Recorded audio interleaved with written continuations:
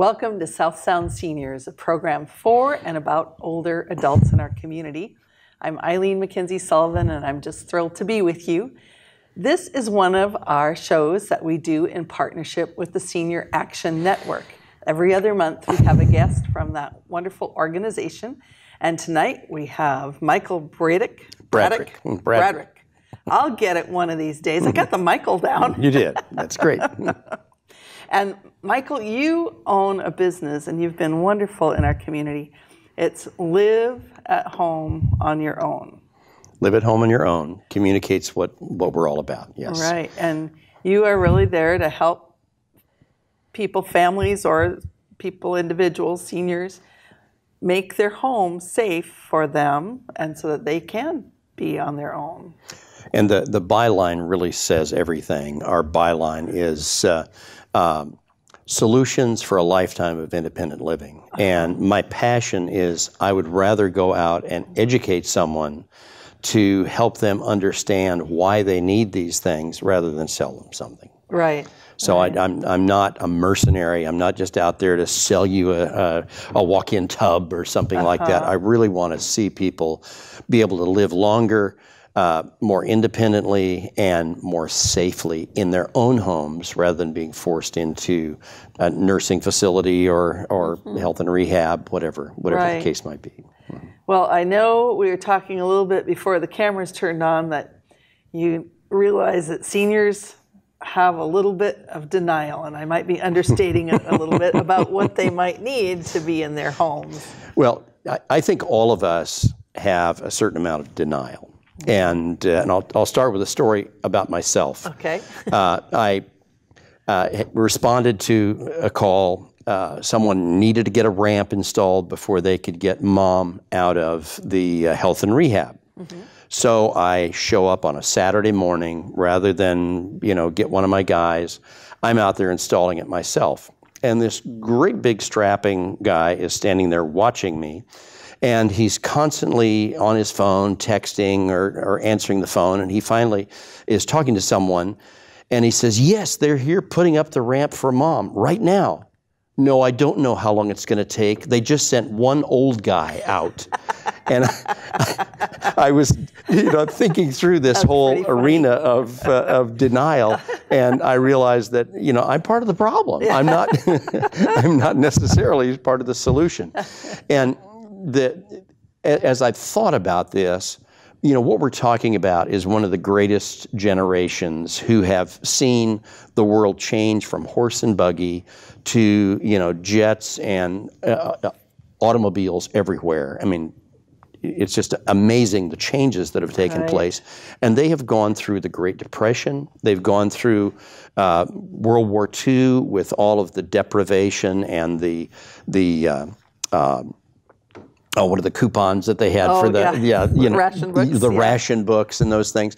So so we have a, a, a generation of people who have learned how to make do on nearly nothing and to be very resourceful and to to just self-denial is is part of it and denying that they you know need something that's going to going to be expensive so the resistance is you know I don't want to pay for something because I really don't need it. Right. when the the truth of the matter is that a third of us who are 65 and older will fall every year.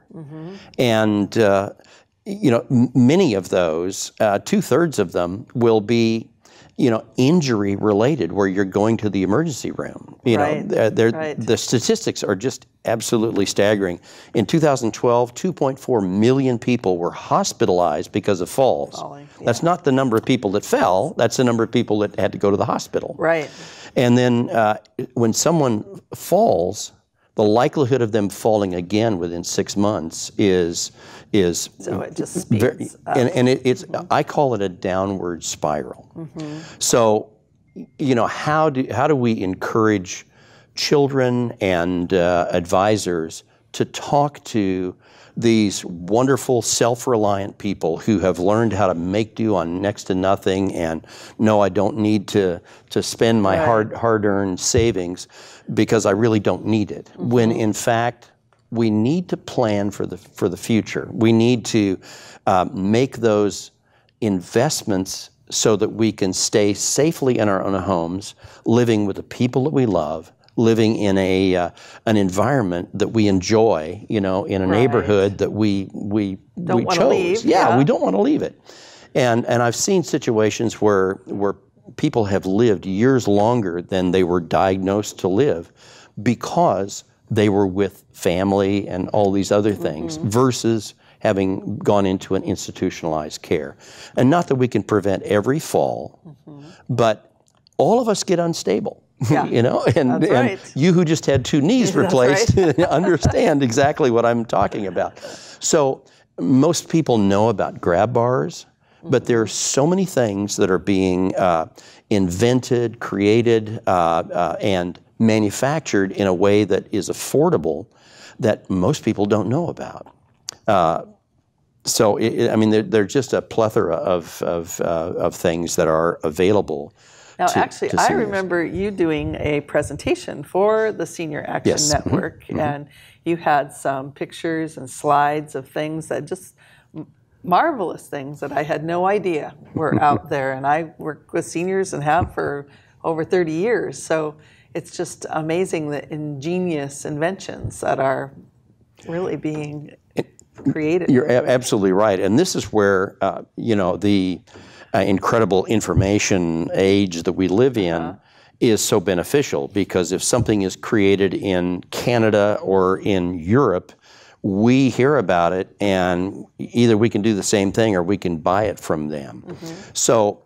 You know, everyone knows that you can get a grab bar, and but a lot of people don't know that those grab gar- grab bars can be put up in a way that they're still unsafe because uh, they only put studs so close together, you know, Right, 16 inches at the closest generally. And if you can't hit a stud, how do you get that thing to be secure? Yeah. So the fasteners that I use uh, will support up to 800 pounds of pull Oh, wow. Uh-huh. just in sheetrock. So it, it these things have really come a long way. Yeah. I've told people, you know, they say, well, I've got one of these fiberglass showers that, you know, how do you put a grab bar in that? Uh-huh. Well, I've said that unless you can cut open the wall behind and put a piece of backing behind it to screw the grab bar into, you know, we really can't do much of anything. Well, now there are techniques. For instance, uh, once you determine exactly where that gra- that uh, stud is, you can cut a hole in the fiberglass and screw a bolt into the stud mm-hmm. that has a spacer that's threaded and then a, a disc that you put silicone on and tighten it down over that so that it's sealed to the back mm-hmm. of the fiberglass. And you mount the grab bar to these discs and it's just like it's mounted into the studs. wow. So uh, Yeah. it, it's it's a little scary when you start cutting somebody's shower. Like, ah, yeah. so uh, anyway, and then uh, there are other things that have been created, uh, like a they call it a super pole. It it sits on the floor with a disc that has rubber on the back of it, and then it screws up tight against the ceiling with a, a spreader, like a 16, 18 inch uh, spreader that has rubber on the top of that. So literally, it just with the tension and a lock nut on it.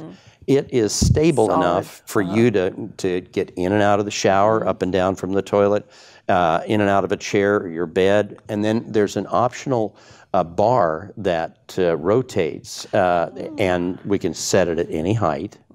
And it rotates at 45 degree angles. You just, with the, you lift up the weight of the bar and move it. And you can get it in front of you when you're having a bad day, sit up, move it, and get out of bed. Uh-huh. And and the, the beauty of a device like this is that when you are unstable, the, these bars have a, a, a rubber grip on the pole and on the, the handle. Mm-hmm. You can get a hold of something and you can grab it in a panic and it'll keep you from, mm-hmm. from falling. I just came up with a good idea. If you have people that deny they need one, you just tell them, well, it's for when you take your pole dancing lessons. and then, you know, if you need it to help you get out of bed, that's okay There you too. go. There you go. yeah. That should appeal to somebody. and the uh, so you know just going through some of the, the the math as far as the costs Right, of that's always a uh, concern. I, I, I tell people that these poles, uh, some of the other things, cost half or less of the ride to the emergency room. Yeah.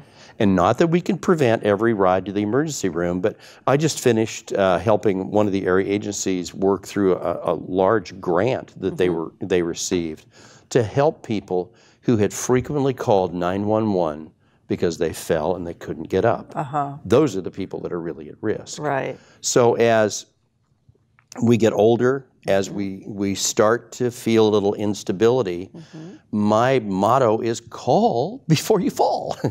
and, uh, a- and so the, the biggest problem is that uh, two thirds of the people who fall repeatedly end up breaking a hip or a shoulder. Right. And you know the pain of uh, the surgery that uh, it goes with knee replacement and things of that nature. And uh, putting up some of these pieces of equipment can, again, not not solve everything, but can certainly prevent a, a good number of them if there are places. Because I, I, when I go out, I ask people, where where do you have instability? And you where the number one place is? the bathroom. The bathroom. Yeah. Two thirds of all falls or, or more uh, happen in the bathroom. Mm-hmm. And almost everybody has this 15 inch step that they struggle getting over. Well, the first thing you can do is get something to hang on to when you're trying to make that 15 inch step Yeah. into the tub. yeah. And, and then, you know, there, there are lots of uh, different devices. There is a chair that clamps to the edge of the tub that slides out mm-hmm. and turns uh, so that you can turn around, on this side. sit down, uh-huh. push a button, it starts to slide back, push another button. You lift, or if you need help, you can get your leg lifted in. You mm-hmm. lift the other leg in, it slides in and pops into position. Then you bathe mm-hmm. with the curtain closed, obviously, uh-huh. and uh, uh, and then you can get out, and you're not having to make that step. Uh-huh. So that's that's one solution. Uh, other things are, I mean, everybody knows because they're advertised on television um, frequently. The walk-in tubs. Right. The door and yeah. Yes, the door. Uh, So what what I've installed uh, even more frequently are the roll-in showers. Ah. So, uh, and there's a, and I've searched to try to find companies that I can trust because I, I don't want to sell something that I don't have faith in. I actually have one of these in my own home Oh wow. uh, because it's designed so that it will never leak into the wall. ah. Uh, The the corners come together, the the way the walls fit in, and then it has half inch plywood in the wall. When you screw a grab bar to it, uh, or screw the seat that that lifts up and down, it's solid. Wow. So Well, Michael, you are a wealth of knowledge. And when you go out to talk to people about these options, do you send them a big bill for just talking to them? no, I don't. I don't. I just Okay. it's it's like I say, it's my passion. Yeah. I love to go out and talk to them and So uh, people should at least call and see what the possibilities are. exactly. And then they can say yes to this, no to that, and you know, really prioritize what they might be interested in doing. And you know, I know you well enough too that you do a home assessment to just Yes. say just simple things like pick up these throw rugs that you could be tripping over and that kind of thing. Well, when you've lived in a home for 30 or 40 years, Mm-hmm. you're so familiar, you don't know what's what's What the hazards what the are. dangers Yeah. really are. And one of the other things I offer is if someone needs a ramp Uh-huh. and a family member wants to build it, please give me a call. I'll give you some pointers Uh-huh. because the scariest ramps I've seen are built by well-meaning people for those the people that they love Yeah. and uh, and they they just they don't understand that oh, they may be strong enough to go up this ramp, Right. But grand, grandma or grandpa aren't strong Right, enough. yeah. So and and I would rather give someone advice on Mm-hmm. how how to how to build it, and build it so it lasts and just keep somebody from falling. Okay, well, thank you, Michael. You kind of opened up all kinds of possibilities of questions people can ask, Yes. um, technologies that they may not know about that they should find out about before they just say, okay, I guess I have to move because I can't stay here. Right. Yeah. Okay, well, thank you so much for coming in, and thank you for being a wonderful active member of Senior Action Network. I enjoy it. Thank you for oh, inviting me. We mm. enjoy you too. Appreciate so. that. We will be back in just a minute because I want you to find out the ins and the outs of Meals on Wheels. So please stay with us.